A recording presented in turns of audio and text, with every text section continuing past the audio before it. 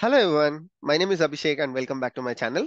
So today we'll take a look at the episode 3 of shell scripting series that we are doing. And uh, in this in this video, we'll talk about shell scripting interview questions.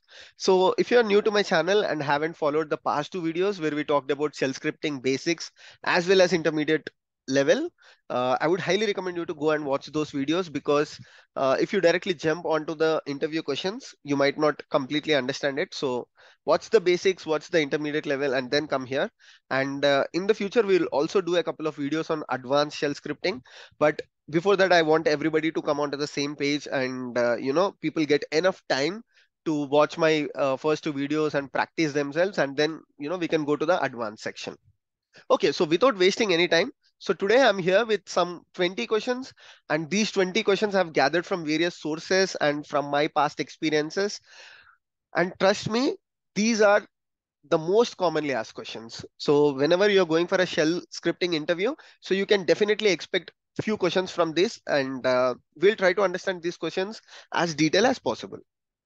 So the first question, there is a reason why I put this question as the first one. So whenever you're doing a shell scripting interview, what happens is the interviewer always tries to understand what do you know about shell scripting or what is your common understanding or uh, do you use it in a day-to-day -day basis or not? So whenever somebody asks you this question, list some most commonly used shell commands. So the first thing that you have to do is be very honest and tell what are the commands that you use day-to-day -day basis. Like, you know, what are the commands people regularly use is the ls command to list the files. People use some commands like, uh, you know, the copy command, the move command.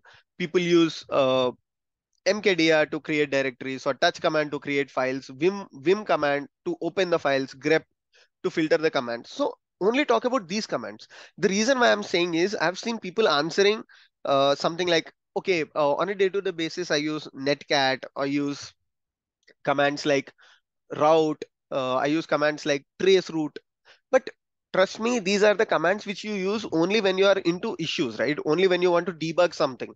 So firstly, start with the commands and be honest and explain that, okay, I use shell scripting for listing the files. And uh, for that, I use the ls command.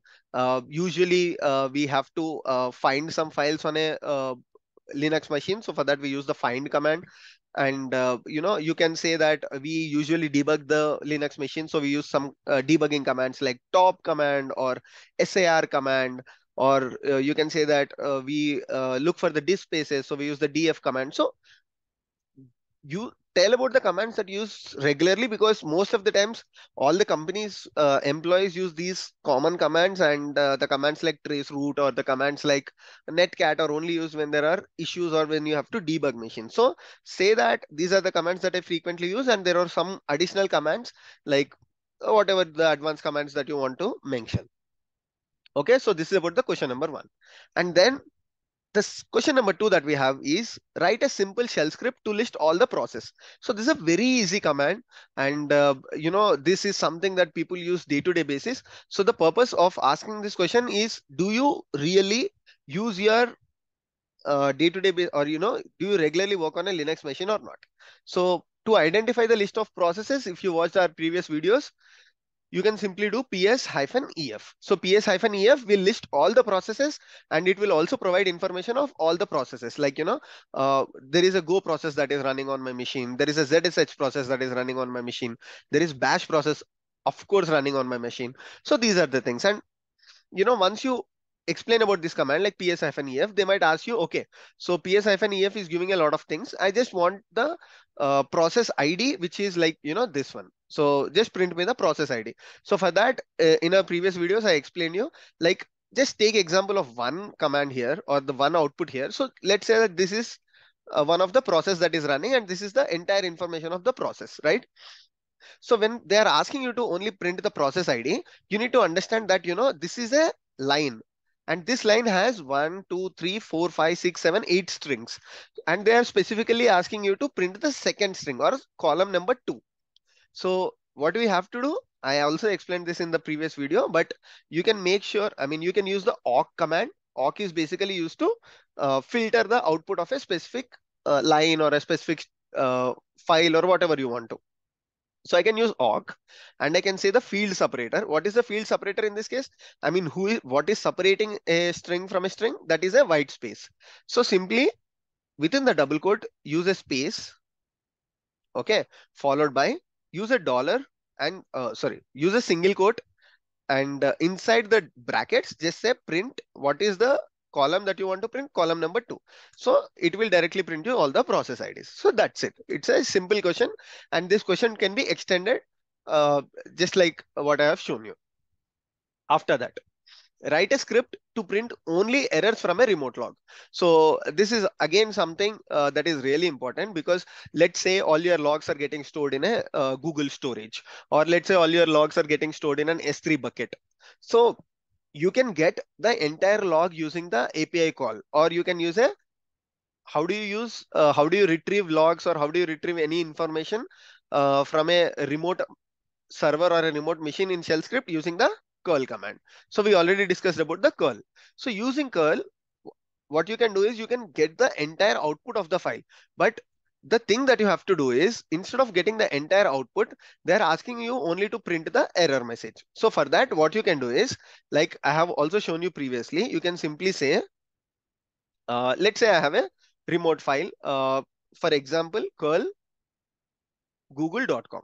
So this is just an example. Okay. So when I say curl google.com, this is the output that I got. Now let's say they only want me to print the this specific line. Okay. Or they just want me to print href. Okay. href, h reference. Okay. So what I need to do is after the curl command, I can simply use a pipe followed by the grep command to print the specific line that I want. Let's say in this case, assume this is an error message line. So what you can say is simply grep href. And what happens is you get that file only. Ignore about this this part, uh, this thing here. Okay, so just ignore this one. This is just the output that we are receiving. But this is how you retrieve a specific line or specific set of lines from the remote machine, whether it's a log file, whether it is any other file. This is how you retrieve it. And for your example, uh, if you want me to show a specific log file also, I just uploaded a log file the other day uh, on to one of my Git repositories. You can also use this one for your practice. So this is a sandbox repository that I have. And uh, so this is the dummy log file that I stored. So just click on this log file. So here you can see a log file, right? So this is just a dummy log file that I just stored uh, for our students example purpose.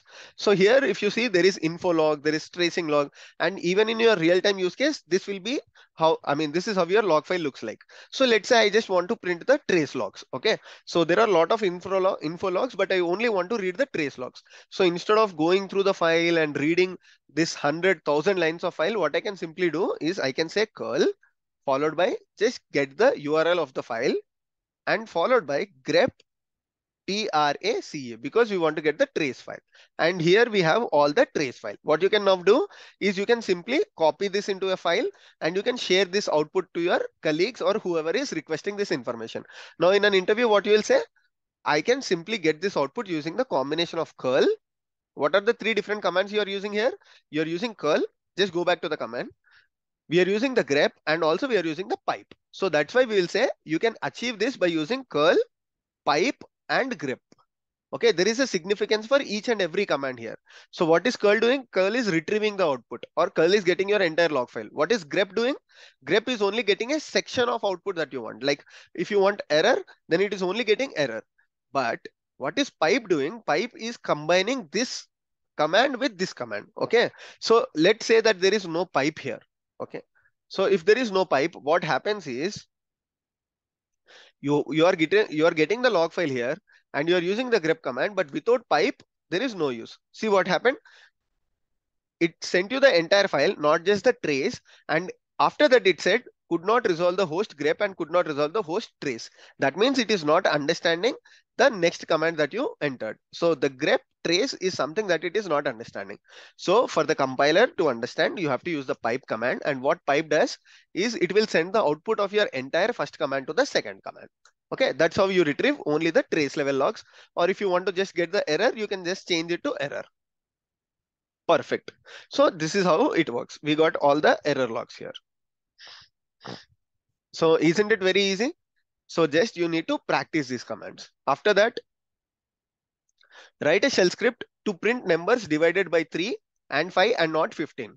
Okay, so for your purpose, what I have done is I have slightly complicated this question.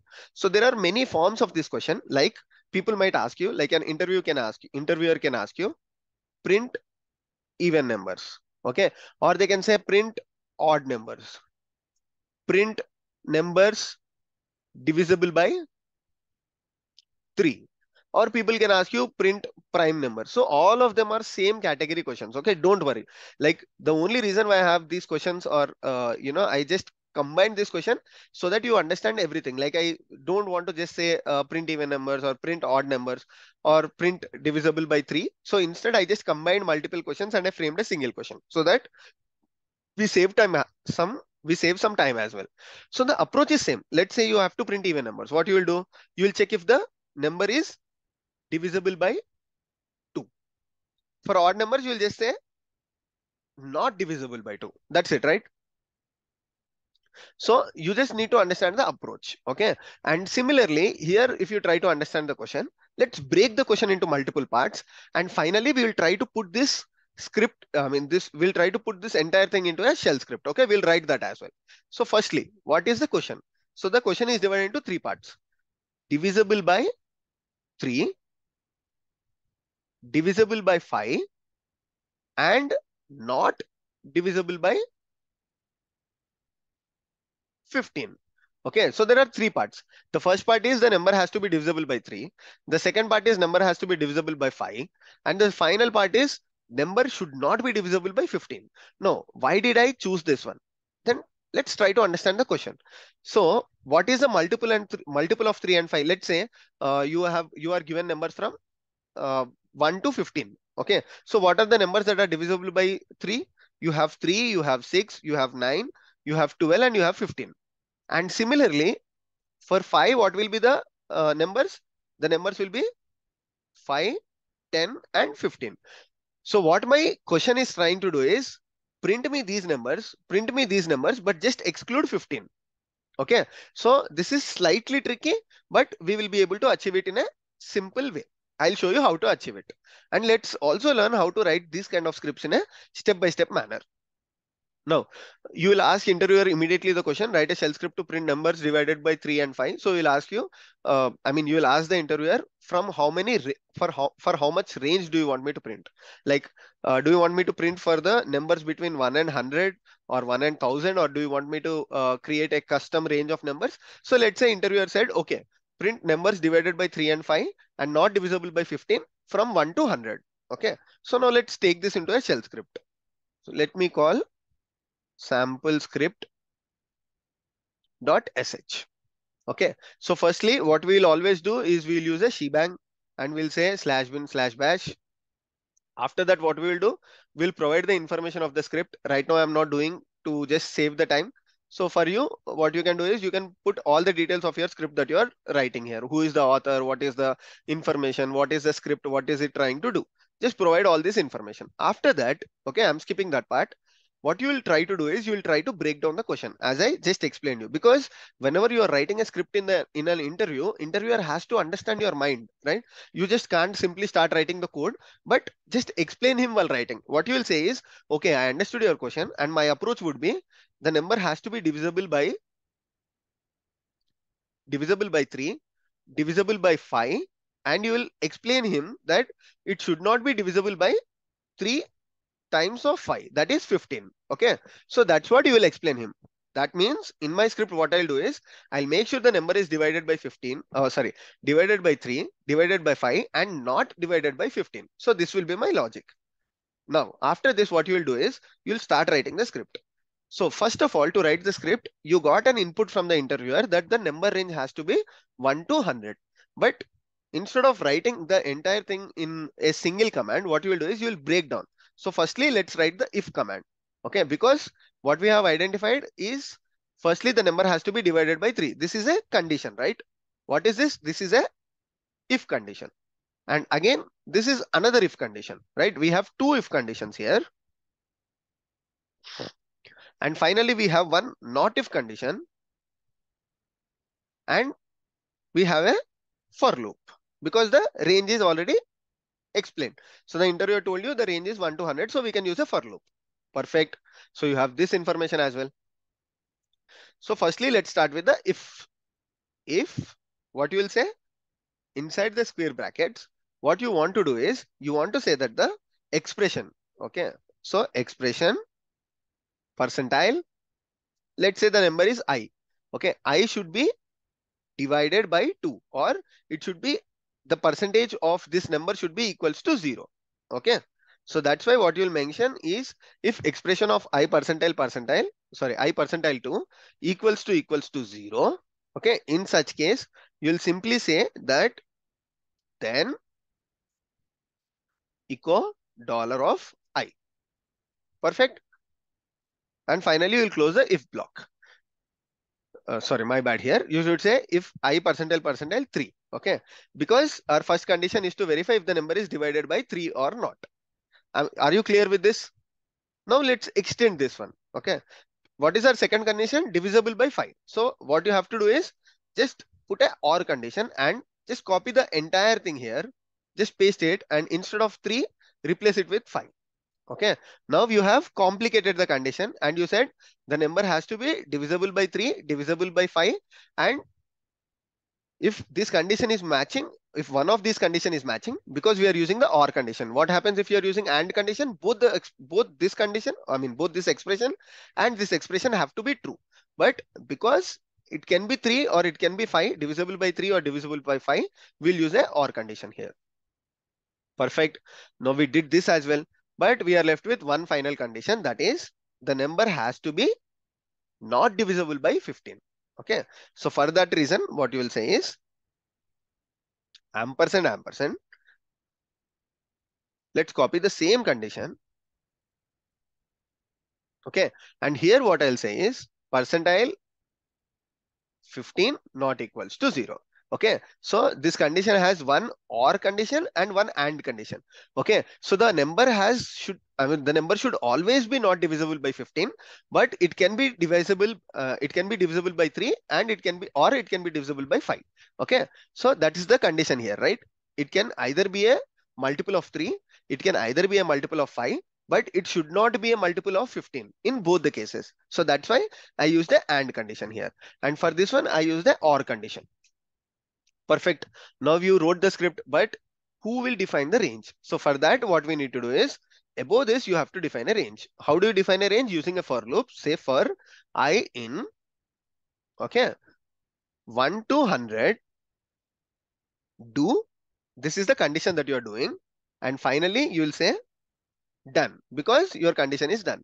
So inside the for loop, this is the conditions that you are applying. So that's why this is your for loop statement. This is the condition. And finally, you are closing your for loop. So this will be your script. Now let's save this one.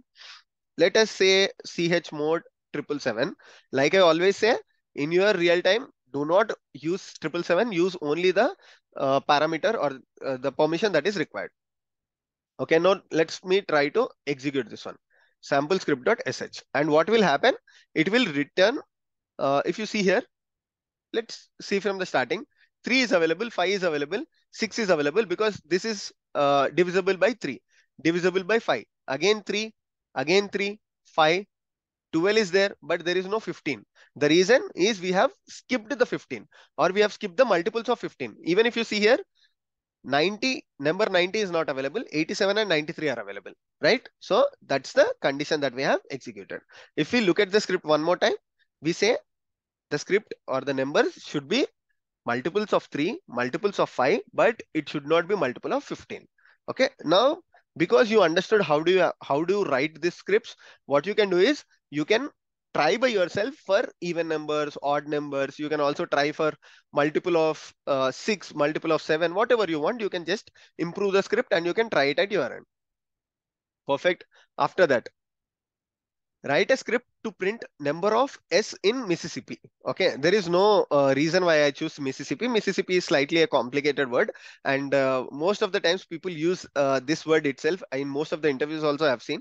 So you can change it with anything. You can say Singapore, okay, or you can choose any word. You can choose your name, and you can try to print one of the alphabet occurrence. So the script, what it is trying to say is the number of occurrence of S in Mississippi. Like if you see here, there is two, there are two S here and there is one more S here and one more S here. So the output should output should be four. And what if the interviewer is giving the word called Singapore? The output output should be one because there is only one S. I hope you understood the question. And now let's try to write this script as well. Vim. Let me call this as number.sh. Okay. So the script is again very simple. Don't worry about the thing. Uh, we'll start with, as always, we'll start with shebang slash bin slash bash. Now, there are multiple ways to do this thing. Uh, like always, whenever you're doing a scripting, people do it in their own ways people try to be very creative but in an interview always start with the basics okay? So the interviewer should not feel that you don't know the basic way of doing it or you don't know the uh, like you know uh, the easy way of doing it. So always say that this is the easy way of doing it. And if you want i can improve the efficiency or you can say that i can do it in a much better way. But if you ask me uh, like this is a very simple command to achieve this one because you are not doing any programming right you are just doing a command here let's say you are doing a programming then i agree that you know your time complexity will come into picture and all of the other things but because you are just doing or just you are talking about a simple shell command so that's why I say that, okay, whenever you ask me this one, I can simply uh, do the grep command and find it. But if you want, I can also, uh, you know, use some advanced approach or you use an efficient way of doing it. So the output here is very simple. Firstly, define the word. Let's call this as X and let's say X is equals to M-I-S-S-I-S-S-I-P-I. I hope the spelling is right. Uh, so how you will achieve this is just say grep and in grep there is a command called minus o or hyphen o which will stand for only okay what you are trying to grep you are only trying to grep for a alphabet called s even if it is singapore or even if it is mississippi you're only trying to grep for an alphabet called s followed by three lesser than symbols, which I which we'll talk now. Dollar of x, x, x is nothing but Mississippi that you defined here. And finally, you will say word count minus L. What this command is doing is it is sending all the four S to this one. And in here, what we are doing is we are trying to count the words. Okay, so word count command is nothing but let's say uh, you have a file and somebody asks you that what is the length of this file or how many number of lines are present in this file. So in such cases, you can simply use the word count command and say that, okay, uh, cat name of the file pipe word count minus L. So word count minus L is always used to return the number of lines. So here what we are doing is we are trying to redirect the output of this into a standard input and this standard input is passed to the grep command. Okay. So on a first sight, you might find it complicated, but this is very, very easy. We are just using the grep command to only filter or, you know, only uh, get the output of single alphabet that is S. And we are trying to send this uh, Mississippi into a standard input to this command. And finally, we are trying to get the word count. Okay. So what you need to do here is you have to practice these things. Okay. Only with practice, you can achieve these kind of things. Pause this video here, try to understand what I have done. And finally, you will, uh, you know, master this art. So the output is four. If you change uh, the name here, let's say I'll change this to Singapore. Okay. So if I change this to Singapore, what will happen? The output should be 1 because there is only one S here. That's it. So this is so simple. Uh, only thing is you have to just master it every day. Okay. How will you debug the shell script? Nothing. Uh, the command is very simple. Whenever you start writing your shell script, what you need to do is you have to do set minus x that is set minus x so for any script if you just add your first line as set minus x then your shell script will run in debug mode or you can able to troubleshoot your shell script you, we already saw that on our previous videos. What is cron tab in Linux? Can you provide an example usage? Okay. So basically, cron tab is nothing but, uh, let's say you are a Linux administrator. Okay. So you are a Linux admin. So as a Linux admin, your job, and your roles and responsibilities are every day at 6 p.m. You have to send a report. Okay. What report you have to send? Let's say you have to send the report of node health how your node is performing or uh, what is the CPU usage, what is the RAM usage. Instead of every day you go and log in at 6 p.m. and execute a specific script, what you can do is you can make use of cron tab. Cron tab is nothing but it's like an alarm or it's like, uh, you know, every day you just set your cron tab to 6 p.m. and Linux will automatically execute your script at 6 p.m. and give you the output. Whether you want to store it in S3 bucket or you want to store in a specific folder of a file, you can do that using cron tab. That's it. So the question is very simple and the answer is also very simple. Do not try to complicate such kind of questions. Now, how do you open a file in a readme mode? So uh, read only mode. Okay. So usually how do you open a file? You use vim command or use a VM command. So how do you, how do you use it? Like you say vim test dot txt or vim test.sh or something, right? So instead, what you can do is you can just say hyphen r so that the file will be just opened in the readme mode or read only mode. Sorry, not readme, read only. What is the difference between soft and hard link? Okay, so this is one of the most asked questions. So just pay attention to what I'm saying. This is not complicated, but you have to understand this uh, so that you explain this in a better way to the interviewer. So in Linux, there are two links. One is soft link and one is hard link. So what are these links? So let's say uh, what happens when you create a file. Okay, let's say that uh, you create a file or you just try to save a file. Okay, create a file and save a file. What happens in this case? Whenever you create a file and save a file, this gets saved in the memory, right? Where is get where is this getting saved? This is getting saved in a memory or on the disk. So what happens is, let's say you want to reuse this file multiple times. Okay, you want to create a copy of this file. Okay, or you want to just uh, uh, I mean, take a copy of this file and modify this file. In such cases, you can use hard links. Okay, so instead of copying this command all the time using cp command or you know uh, just copying the content of the file into a different command you can just create a hard link to this specific file uh, I'm not uh, explaining you about the uh, syntax of this hard link. It is nothing but you can simply use the ln command. That's not uh, complicated, but you need to understand the concept here. So using hard link, what you can do is you can create copy or you can mirror a specific file. Okay. So what happens here is even if your original file gets deleted, let's say you have a secret file and your secret file should not be deleted because you have some sensitive information. What you can do is you can create a hard link of the file. What happens is it will create a copy. Hard link will create a copy. So even if the actual file is deleted from the memory, your copy still exists and your hard link will keep a backup of your file. But soft links are not like that. The best example for soft link is, let's say you have Python 3 installed on your machine. Okay. So you will always see there is a Python 3 file and there is always there is also a Python file. What this Python does is whenever you are executing dot slash Python, okay. So your Linux terminal will send this output to Python 3 because the Python has a soft link to Python 3. That's it. So what is the difference between hard link and soft link? If you are deleting Python 3 or if you're deleting Python, because both of them are referencing to the same point in the memory, both the files are deleted. Okay, so soft links are like that. Why you use soft links is basically for this kind of things like creating alias files or uh, instead of every time you type Python 3, you can create an uh, soft link for Python 3 called Python and you can just say, okay, use Python. So these kind of things. This is just an example. So always explain your interviews in terms of examples. Then what is the difference between break and continue statements in a loop? Again, this is uh, quite commonly asked questions. Break, continue. Okay. So the words itself will explain you the answer. I don't have to explain it completely because the words are self-informative. What is break? Break is nothing but you are breaking the execution. Continue is nothing but, okay, you are continuing the execution. Okay. So the thing is, the continue comes with a special condition called skip. So it is instead of continue, you have to understand it as skip this and continue the next. Okay. So it is very simple. Let's say you are doing a for loop. Okay. And in the for loop, we'll take the same example that we discussed. Okay. The number has to be divided by three. The number has to be divided by five. But if the number is divided by three and five, that is if it is a multiple of three and five, that is 15, you have to ignore. Okay.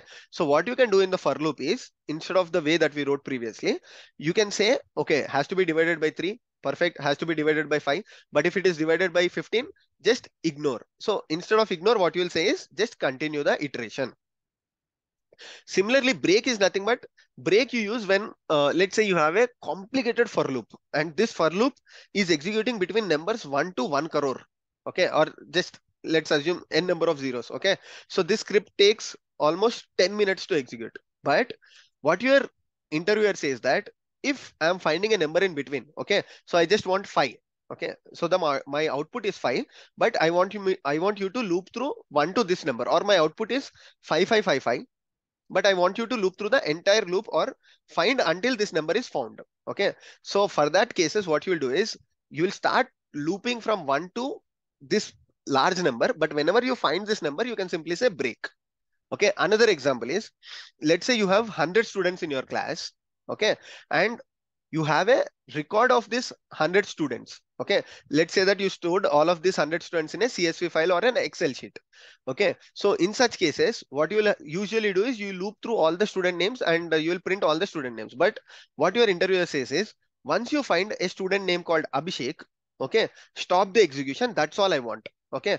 Whenever abhishek is found i don't want all the people after abhishek. Okay? So my criteria is just find all the students. If abhishek is in the first place just print the output as abhishek. If abhishek is in the third place just print student number one student number two and abhishek. If abhishek is in 10th position just say student 1 2 3 4 5 6 7 8 9 and abhishek. So in such cases you can simply use the continuous state oh, sorry the break statement. I hope this is clear to you. Now let's go to the next question Okay, so this is a tricky question. People will ask you what are the disadvantages of shell scripting. I think people will ask you everywhere whenever you're giving any interview like Java interview or Python interview. So come up with your own answer. I have shared some information here. Don't go with this one. Try to explain your real-time use cases whenever you are writing shell script. What are the uh, disadvantages that you found? Like you can say one of the example as it's not statically typed. That is, uh, you know, uh, you can just declare a variable and uh, even if you are not using it, like let's say if you're uh, not defining set minus u. Okay, uh, the person has not used this set minus u command in his script, and uh, what happens is even though there are n number of undeclared variables, your shell script will not complain. Your compiler will not complain. So you can explain such kind of use cases which are very practical in nature. What are different kinds of loops and when to use? I think you already know you have for loop, you have while loop, you have do while loop. Okay, so you can just say that okay there are different types of uh, uh, loops in uh, shell scripting and these are the different kinds of loops. Like any programming language uh, what is the purpose of each and every loop? So i'm just leaving it to you to identify what are the different types of loops and uh, you know what is the use case for each and every loop. The reason why i'm leaving this to you is because this is a very common question that you will find lot of sources in the interview and uh, we should not waste time on such kind of questions is bash dynamically or statically typed. Okay. So this is uh, one more question. So the modern day programming languages are usually uh, statically typed. Like if you take uh, golang or these kind of things they are statically typed. But if you look at the programming languages like python okay or shell so these are the scripting language like shell they are dynamically typed. What do i mean by dynamically typed? Let's say i'm using shell scripting. So i can simply do like this right? X is equals to 5 or i can say x is equals to string or I can do any other thing. But if you are talking about a specific programming language like Go language, before you have to define like where x is a string. Okay. And if you are providing x with a number, your uh, Go language will say that, okay, the Golang interpreter will say that, okay, you said x is a string, but you have provided integer. So I'll terminate the execution or throw you an error. So the same thing does not apply. You can do it with shell as well or Python as well, but by default, the nature is a dynamically typed.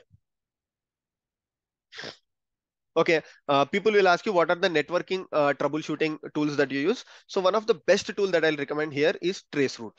Okay, so Traceroute is a tool that you can use for your uh, uh network debugging. For example, I'll show you uh, you want to see why your network is slow. Usually you'll go to your internet and you'll find some networking tools and you'll try to understand why is it slow. But the classic way of doing uh, even these modern day tools also use uh, these kind of uh, shell commands or the Linux commands underneath. So to understand why your network is very slow today, what you can do is you can simply say trace route or trace route followed by google.com. So what I'm trying to do is I'm trying to reach the google.com.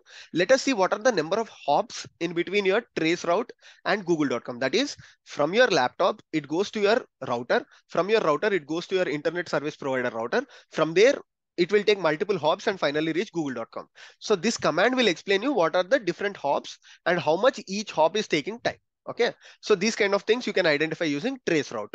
So firstly, it said, okay, this is your IP address. This is my IP address. And let's see where is it going after that it will basically uh, go to a specific act corporation that I'm using. Okay, after that it goes to a different IP address. I cannot uh, show you the entire details, but after, I mean, uh, for the purpose of security, after that it goes to your internet service provider and finally it will reach your google.com. And similarly, there is one more command called trace path. So trace path is also efficient command because using trace path also you can identify, okay, trace path is not installed on my machine, but using trace path also you can identify these things and trace path does not require root privileges. And after that, how will sort list of names in a file. So this is not a not at all a complicated question. Sometimes I have seen interviewers asking this uh, silly questions because people uh, think a lot about these things and uh, you know they start writing a sort uh, sort kind of looping and all the other things. But as I already mentioned you, whenever you're doing or whenever you're explaining your interview, always talk about the easiest way and then you can say, okay, so sort comes with the nature of uh, time complexity, uh, O of n or O of n square, whatever it is. And you can say that, okay, I can improve the efficiency. But first of all, the easy way of doing is use the sort command. So Linux natively has a command called sort. How will you manage logs of a system that generates huge log files every day? This is very, very important question for Linux administrators and uh, also DevOps engineers because as a Linux admin, you manage a lot of applications, right? So each of these applications will definitely omit logs. And if your application is a real-time uh, front-end facing application, I mean real-time customer-facing application, so it will emit 100, 1000, 1000, n number of logs, right? So how do you preserve all of these logs? So if you keep storage of all these logs, then what happens? Your disk gets on increasing and increasing. So for that reason, there is an efficient way on Linux that is called log rotate. Okay. So using log rotate, you can basically efficiently manage your Linux machine's logs or application logs. So about the log rotate command, the command is very simple. Uh, you can just say log rotate and uh, you can define like for how many days you want to rotate these logs. Let's say uh, for every day, once end of your 24 hours, you can say that once uh, 24 hours is done, just zip this log. You can also define the format like you can say gzip or you can say zip or you can say tar create a compressed version of this zip file and say that, okay, after 30 days, if the 30 days has happened, just delete the log file. Okay, so these are all the uh, commands and these are all some of the most common interview questions that I wanted to explain today. If you have any questions, don't hesitate uh, post the questions in your in the comment section uh, as you know i reply to each and every comment uh, that i receive on my video and finally don't forget to like, subscribe my channel, share this video with your friends, and we'll do a lot more interesting uh, concepts on the shell scripting and also on Python in the coming days. Thank you so much. I hope you like the video. I'll see you in the next video. Bye. Take care.